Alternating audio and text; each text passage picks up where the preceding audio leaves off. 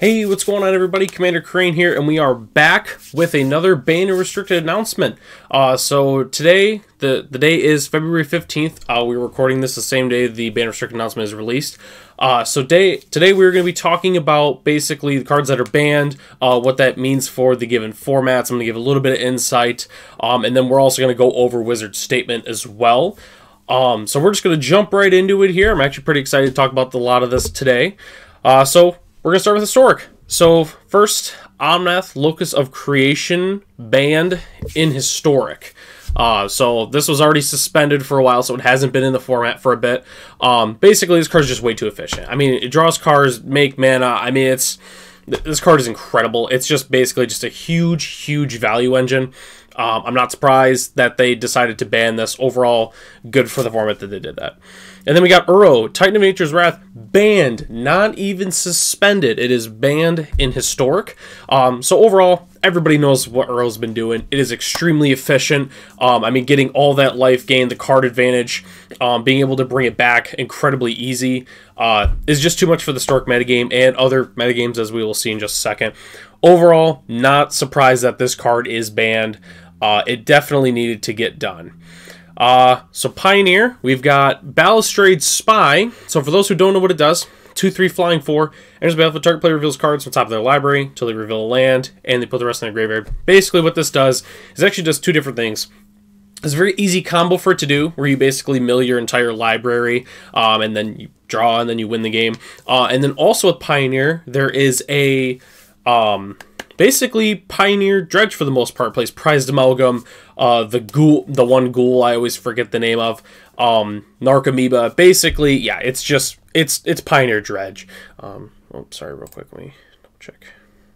Okay, perfect. Just making sure that that was recording. Okay, so Next, we've got Teferi Time Raveler. A little bit surprising, to be honest. Um, so, obviously, people know what this card does too. Uh, extremely efficient for control decks. Uh, makes control mirrors, honestly, really, really, really do nothing for the most part. Um, Teferi, overall, I'm really glad to see this card go. Um, me personally, the decks I play um, don't get too hindered with Teferi, but Teferi is a little annoying. Glad to see the card go for sure. Makes games not very interactive overall just doesn't lead to fun gameplay. We got Undercity Informer, which is basically the other half to Balustrade Spy. Um, sacrifice creature, target player reveals cards until they reveal a land card. Basically does the same thing as Balustrade Spy with the Dredge deck. We'll just call it Pioneer Dredge. Um, so, yep, that's why that one's banned. We got Uro, Titan Nature's Wrath in Pioneer. Um, this one was definitely very expected for sure. Um, I actually have a Simic Devotion deck uh, with four copies of Uro in it. Uro is just insane. Uh, the card definitely needed to get banned, basically for the same reasons as Historic. Um, even with the little bit of increase in power with Pioneer, it still really wasn't enough. Um, so definitely I'm glad to see Uro go. Uh, it just wasn't overall good for the metagame. Then we have Wilderness Reclamation is banned. Um, really not a lot to say about this card. It it basically did all the same stuff it did in Historic 2. Overall, Wilderness Reclamation, just a really, really silly card. I I don't even know that this card is just so powerful. I it definitely slipped under a lot of people's radar for a long time, um, and even this card has actually seen a lot of play in modern too. So we'll actually see if it even sticks around in modern long term. I could potentially see it be, be getting banned. Uh, so that's done with Pioneer. We're gonna move into modern. So modern, we have Field of the Dead. So basically, the only deck that was playing this, at least from my understanding, was the Amulet Titan decks definitely this card getting banned really weakens Amulet Titan for sure. Um, basically, this was honestly their main win con. Um, right after uh, Primeval Titan, but a lot of the times I've seen decks just go all in on Field of the Dead, not even so much Primeval Titan. This card is just way too efficient. I mean, you make all the zombies and it's a land. I mean, not a lot of decks can beat this. I mean, you can just play Field of the Dead and just just play lands and just grind out. I mean, it's crazy how efficient this card is. I'm definitely glad to see it go. It definitely needed to get the Banhammer in Modern. Mystic Sanctuary, another card that I'm personally, you're going to, as a common trend here, I'm really happy a lot of these cards are gone. So Mystic Sanctuary basically just leads to really unfun gameplay. I can't tell you how many times, oh, Cryptic Command, uh, I'm going to bounce my Mystic Sanctuary, and then I'm going to play it my next turn. I'm going to grab the Cryptic Command back. Just completely unfun garbage gameplay. I do not like Mystic Sanctuary. That card was really, really unfair. It was just way too good. And I've actually, the only deck I've ever played this in is Commander, and it is still extremely, extremely good in Commander. Glad to see it go overall. Oh, this card is just incredible, especially at common level. Not a surprise it's even banned in Pauper either. So then we go into Simian Spirit Guide. So this is a card I actually do play. I like to play a lot of Skred, and I do play this card. Um, I'm not surprised to see it go. I'm actually surprised it took this long. I remember in 2016, that was one card that was highly talked about getting banned. Um, so overall, I'm not surprised to see it go. Uh, it just stunk that it took this long. But yeah, really, this honestly, it might have been possibly okay if it wasn't for the next card here. I'm not 100% sure. Maybe that was just their final, let's just get rid of this now. But we have Tibalt's Trickery. So this was a big one where people weren't sure if it was going to get banned or not. Overall, I'm glad it did. Those who don't know, it's extremely easy to get turn two, uh, like Emrakul's, Ulamog's, stuff like that with this card.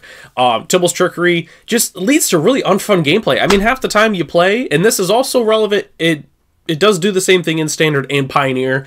Whether or not it will need to get banned in those formats, I'm not sure.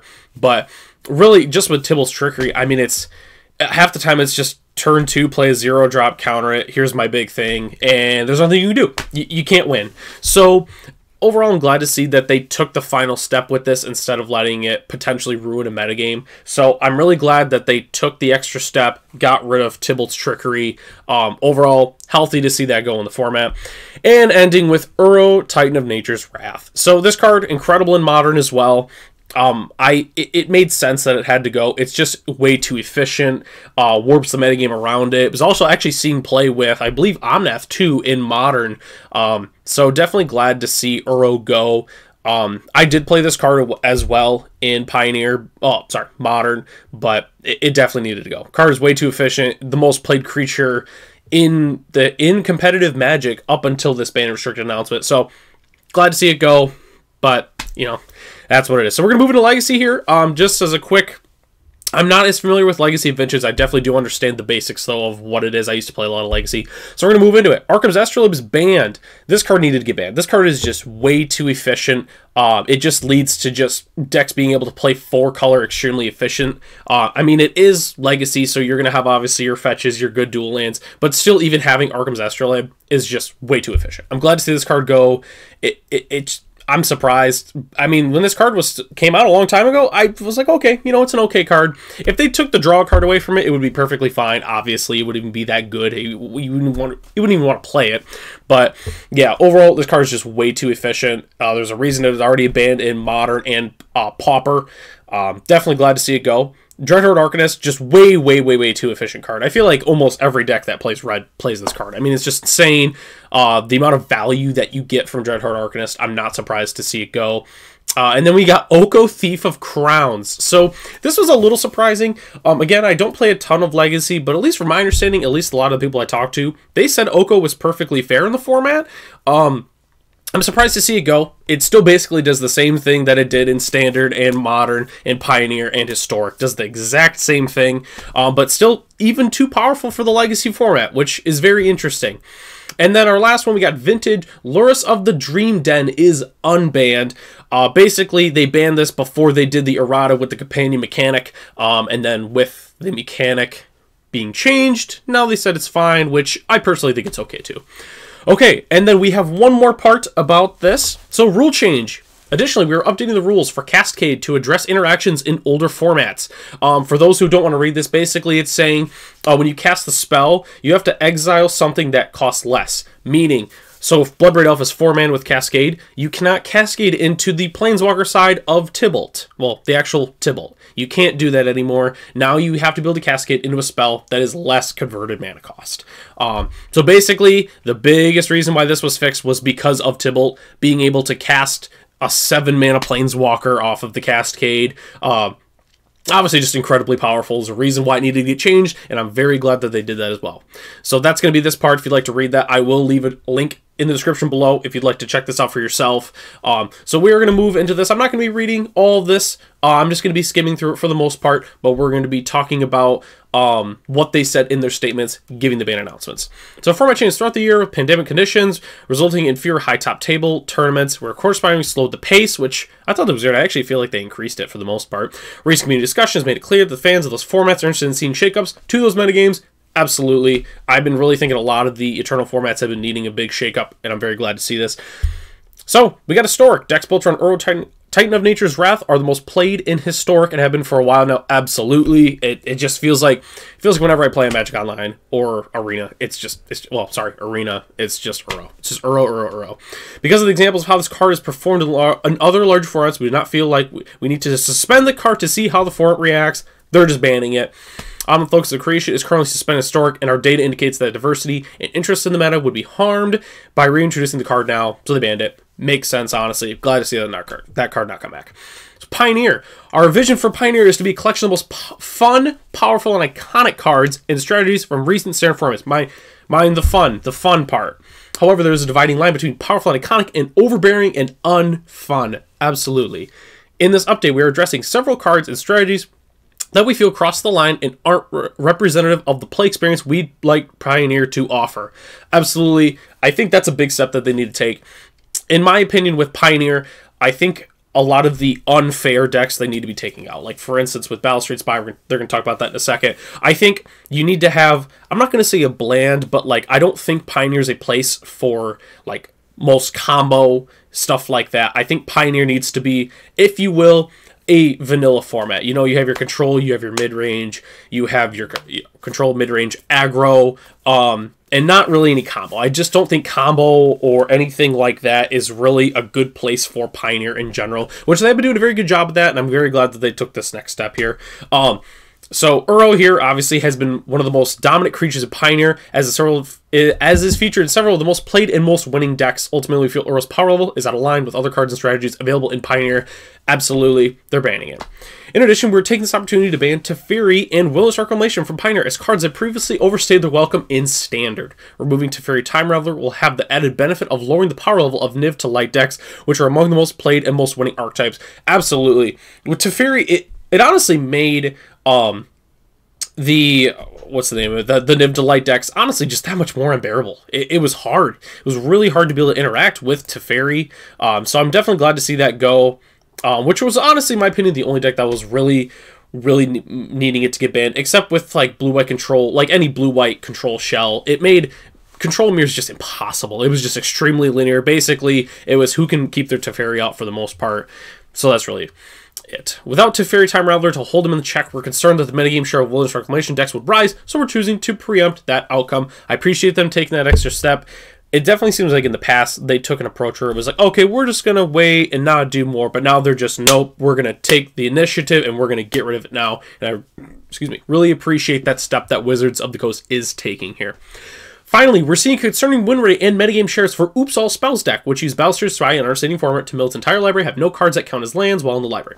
Given the difficulty of interacting with the strategy, it isn't easily held in check by natural metagame forces. We don't believe Pioneer can be at its most fun with Oops All Spells being a large part of the metagame, so we're choosing to ban Balustrade Spy and Undercity Informer. Definitely glad to see that.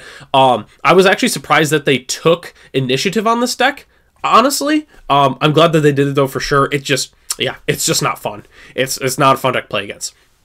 So we move to Modern. As in Pioneer, Uro Titan Nature's Wrath has become a dominant fixture across many of the top modern decks and operates at a power level that makes it difficult for other mid-range and control strategies to compete with. To open space in the metagame for a greater variety of mid-range strategies and other slower decks to coexist, we're choosing to ban Uro in Modern as well. It makes sense. Um, then we move to the next one along with Uro. We're addressing the two land cards frequently used by ramp control strategies, Field of the Dead and Mystic Sanctuary. I it needed they needed to they needed to ban those cards. It's just impossible to interact with unless you're playing Leaden Destruction or Blood Moon. Both lands create repetitive and non-interactive game states in the late game for a relatively low deck building cost to promote to promote more back and forth gameplay and interaction over win conditions. We're choosing to remove them. Awesome, appreciate this. This card I'm a little bittersweet about. Simian Spirit is a card that we had our eye on for some time as an enabler that speeds up fast combos. This card has been on their radar for oh man, I want to say five, six years. I mean, they've been potentially thinking about banning this card. When I first got into the modern format, this was a big hot topic card along with uh, Mox Opal a long time ago. Which Mox Opal really only got banned for Urza. We're not going to talk about that right now, though. Um, as the modern card pool has grown, so too the capability for decks to assemble early game-winning combinations from hand, with some recent examples include Oops All Spells and the Tibalt's, Tibalt's Trickery deck, to slow down that category of combo decks as a whole and give opponents more time to set up interactive plays in the early game. Simian Spirit Guide is banned. So with this, this is the biggest thing I'm wondering about. I, I think this card should have been banned a long time ago.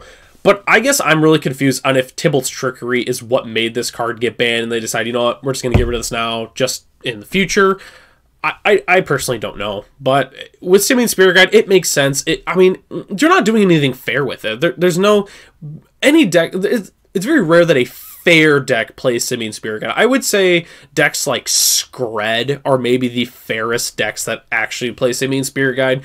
Um, but still, even have like having a turn two Blood Moon, like obviously with Ponza that does it a little bit more fair. But like Ad Nauseam, Tibalt's Trickery, like decks are, that are playing this are not doing fair thing. What's what's the other one? Um, the As Foretold deck too is also playing this. I mean, it's like nothing fair is going on when you're playing Simian Spirit Guide. So I am glad to see them uh, take it. I just wish that they should have gotten rid of this card a long time ago, honestly.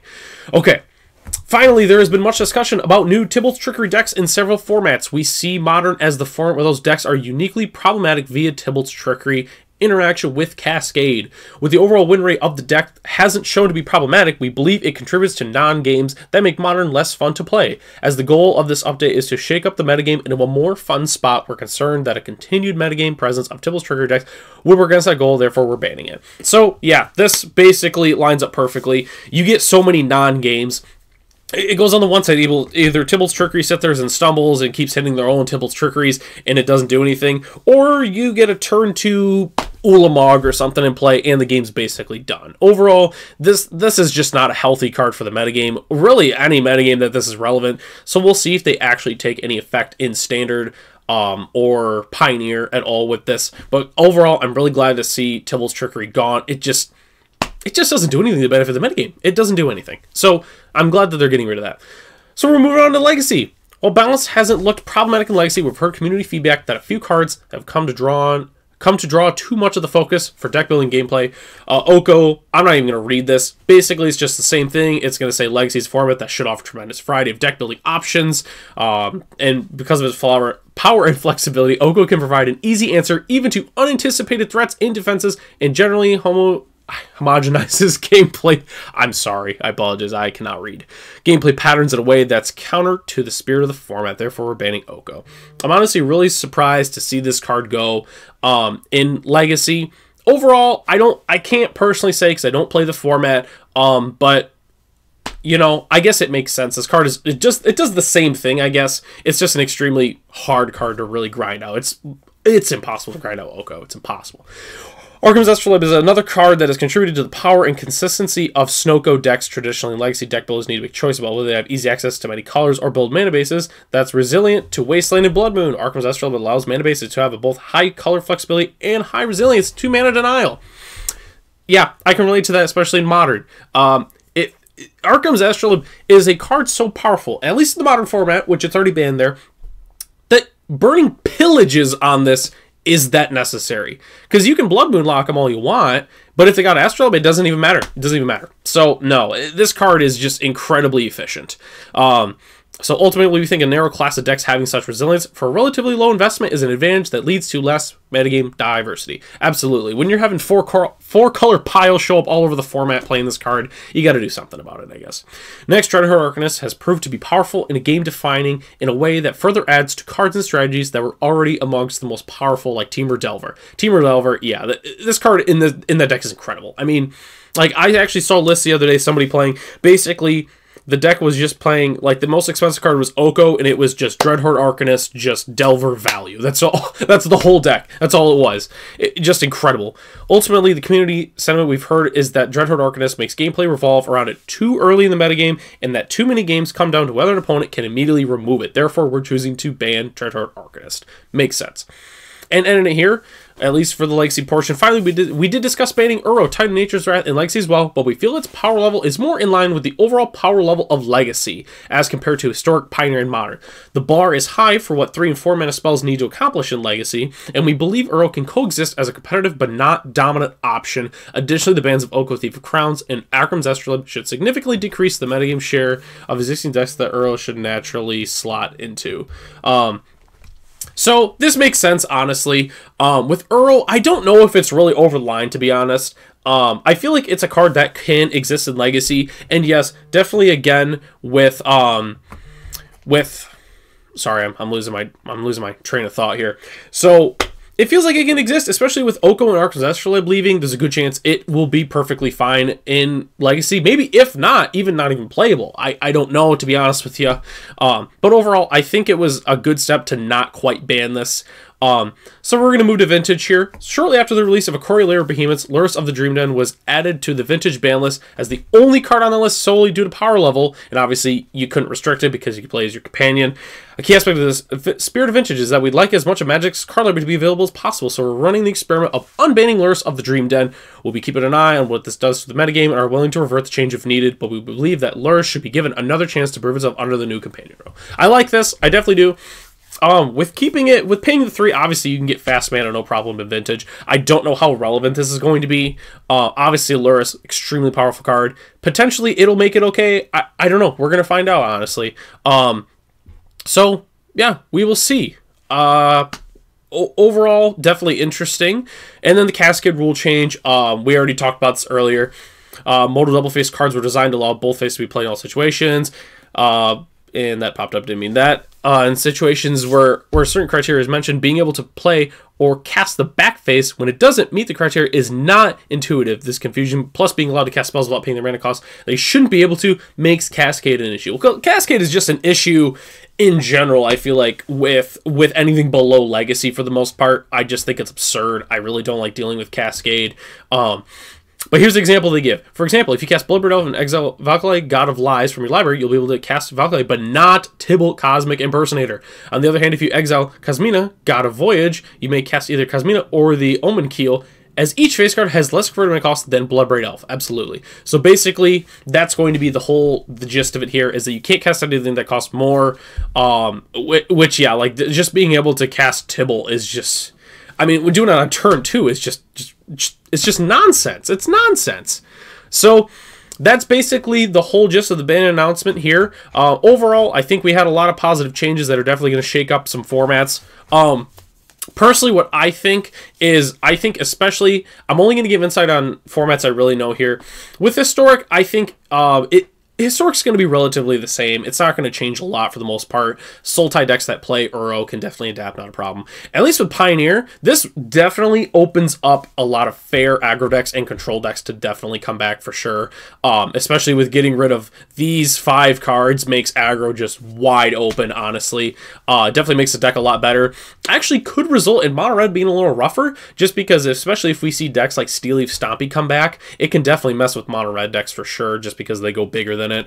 Um, but overall, I, I'm definitely interested interested to see where Pioneer goes because at this point there's not really any combo related decks, uh, so it definitely could lead to a very interesting Pioneer metagame.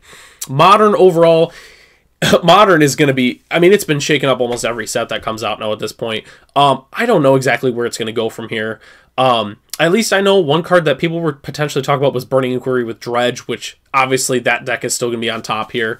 Um, but yeah, with I mean the Titan decks get a little bit weaker. Really, blue dot deck just gets weaker in general. Uh, we don't have that garbage Simian Spirit Guide, Tibble's Trickery combo anymore, which is awesome. And Uro is banned, so there's a good chance that the four mana, uh, what was it, the four color landfall deck overall is not going to be doing awesome. Uh, so honestly, it's really interesting. I, I'm not quite sure what's going to happen. And with Legacy, I don't have enough input on that. Um, really, I think it's just the Delver decks get weaker, but obviously they'll still be relevant. Um, and then with Vintage, I don't even I don't even know Vintage, but I'm assuming that this will definitely see some play to a certain extent. But overall, definitely really excited, me personally, about this ban and restricted announcement. It's going to shake up all the formats. I'm really excited to see where this is going to go for sure. Um, but I'd like to thank everyone for joining. As always, like and subscribe, share it you know, it it, pre- it helps the channel out a lot. I really appreciate that. Um, I like to thank everyone for joining to me today, and I hope you guys have a great rest of your day.